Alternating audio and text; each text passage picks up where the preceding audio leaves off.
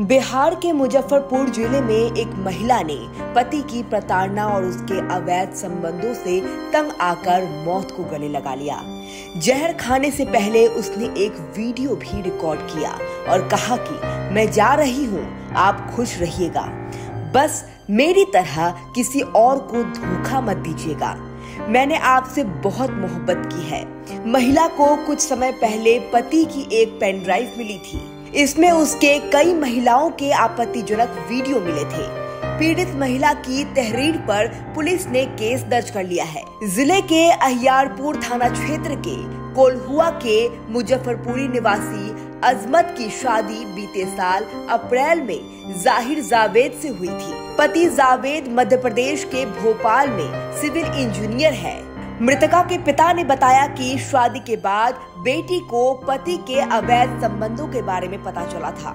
इसके बाद उसने पति पर नज़र रखनी शुरू की। तभी उसको पति की एक पेन ड्राइव मिली। उसमें कई महिलाओं के साथ उसके आपत्तिजनक वीडियो थे। इस पर उसने विरोध किया तो पति ने मारपीट करनी शुरू कर दी। जानकारी मिलने पर मायके वालों ने कई बार दोनों को समझाकर विवाद शांत कराया। वहीं रविवार दोपहर महिला अपने मायके में थी। उसने अपने माता पिता को एटीएम से पैसा निकालने के लिए भेज दिया। वापस आने पर उन्होंने अपनी बेटी को कमरे में पड़ा देखा और आनंद फानन में अस्पताल में भर्ती कराया, जहाँ उसकी मौत हो गई थी। पिता का कहना है कि शादी के बाद दामाद बेटी को ससुराल नहीं ले गया। उसे गरम चौक के पास एक किराए के मकान में रखता था। कहता था कि भोपाल में नौकरी करता है। लेकिन काफ़ी दिनों से यही था। उसने बेटी का व्हाट्सएप हैक कर रखा था।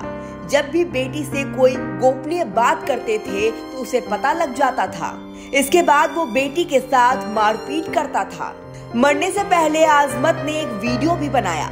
इसमें वे जहर का पैकेट हाथ में लिए दिखाई दे रही है और कह रही है कि आप तो यही चाहते थे ना, मैं जा रही हूँ, आप खुश रहिएगा।